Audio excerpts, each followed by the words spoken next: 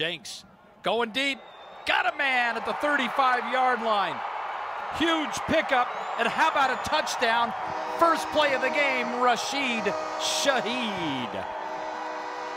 See the celebration. And what a perfect pass.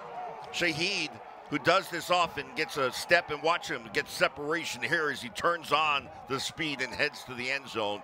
And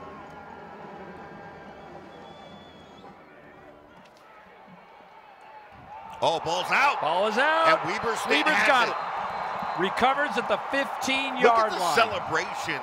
You know, if you get a wide shot of the, the sideline for the Weber State Wildcats, these guys are having a blast right now.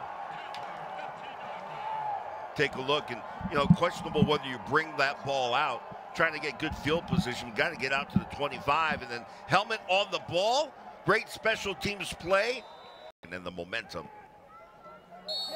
And Tuttle remains perfect on the season.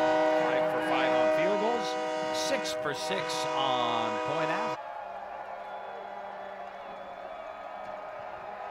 McElvain looking, fires. That was tipped and intercepted. Tipped right into the hands of Brody Burt. And you know what? It's a good thing that was tipped because if it hadn't been, that would have been. And three. Jackson takes the handoff, pushes his way into the end zone.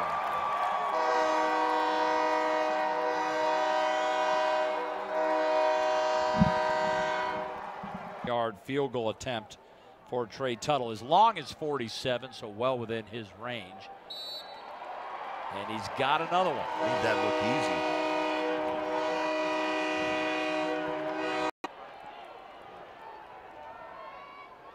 Jenks looking, firing, got it. First down. And more. Cooley into the red zone, down to the 13 yard line. Actually, state. Third down. Jenks dumps that off. Touchdown, Weber State. Diving into the end zone goes Malone.